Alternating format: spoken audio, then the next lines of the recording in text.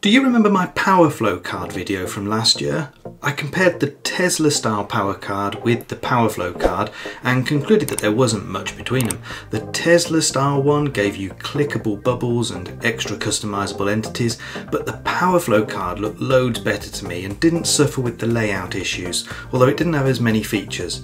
Well, things have moved on since then and we now have a new king of PowerFlow cards to crown, so let's go take a look.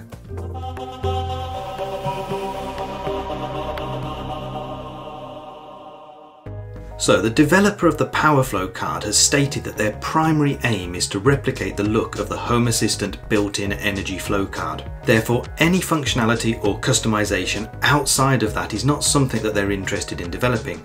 That's a shame because there are a lot of people who share my want for a flexible and customizable PowerFlow card, but fair enough because it is their project.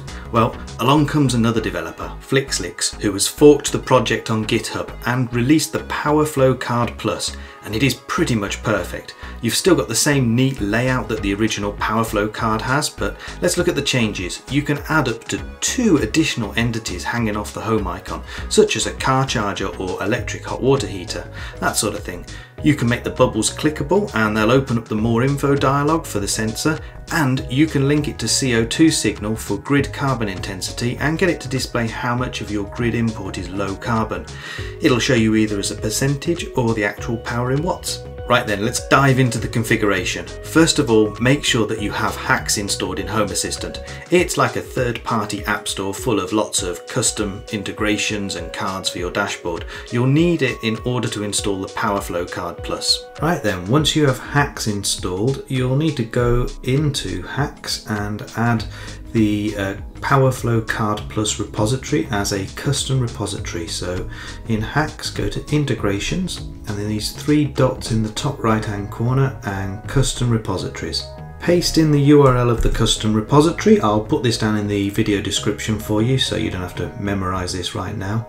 The category is uh, Lovelace and click on add. Okay, it should appear in the list like this, so just click on the cross and hopefully if we go to the front end section here it is PowerFlow Card Plus. So we click on that and we should be given a download button just here. And another download button takes a few seconds to install. And then we'll be asked to reload the uh, browser window which we'll need to do for this to work Right, once you've got the card installed, you're probably going to want to configure it on your dashboard.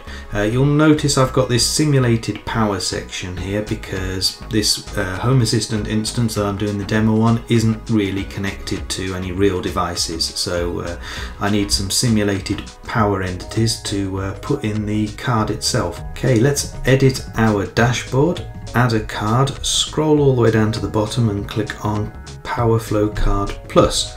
It'll give you the type there, but I'm going to overwrite that with this configuration.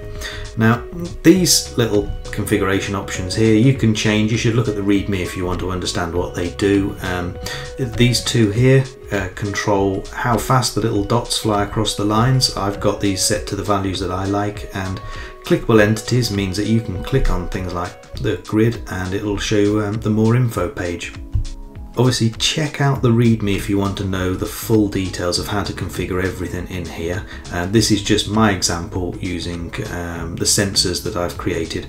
So I'm going to click on save and done and give you a bit of a demo. So you should be able to see if I say I am exporting that much and my solar is generating that much. Uh, let's say that the battery is charging a little bit and we can say that the car is charging as well. Maybe we need to adjust this a little bit more. Maybe it's not the greatest. Ah there we go there we go. Uh, got my maths wrong. So now we can say that the, the home is using 840 watts. The solar is generating 2.1 kilowatts of which 947 watts are going into the battery 320 one are going out to the grid. Now there's another neat little feature that uh, this card has that shows you the carbon intensity of your uh, energy usage from the grid. And in order to do that you need to install the CO2 signal integration. Let's go down to settings, devices and services, uh, add integration. Search for CO2 signal and click on that there. Now you need an API key to um, use this integration and that is free. So I'm going to click on the co2signal.com website. I'm going to type in my email address. I accept get free API key and now I have to go and check my email in order to get that key. Okay, I'm back after going through the email verification and getting the, um, the access token. I'm going to paste it in here and click on submit and finish. Now you'll see that there are two entities that have been created and if I click on this one here you'll see 39.92% of my grid usage is coming from fossil fuels.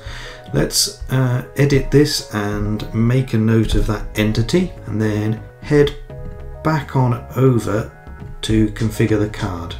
So if I go to edit the card here, let's scroll down to the bottom. Okay, I'm going to paste in another bit of configuration here, which is the fossil fuel percentage option. And if I click on save, you should see that there is this new low carbon um, bubble up the top. Now in order to get that to do anything we actually need to draw from the grid and if I do that you can see I am importing 1.5 kilowatts from the grid, 889 watts of which is low carbon. You should check out the card's README to see all of the different configuration options available and you can customize it to your own needs. One thing I do want to point out though is the ability to invert entities. My grid entity is positive when I'm importing and negative when I'm exporting. But if your grid entity is the other way around, like the ones from your GivEnergy inverter if you're using GivTCP, then you'll need to add the Invert Entities option for grid to the card configuration. The PowerFlow Card Plus is definitely taking the crown for the best PowerFlow card in my opinion. Highly configurable, an active developer, and it's so much easier to configure than the Tesla style one too. Anyway, I hope that you found this video useful, and if you did, then don't forget to give it a like, and please subscribe to my channel to see more videos from me. Thank you for watching, goodbye.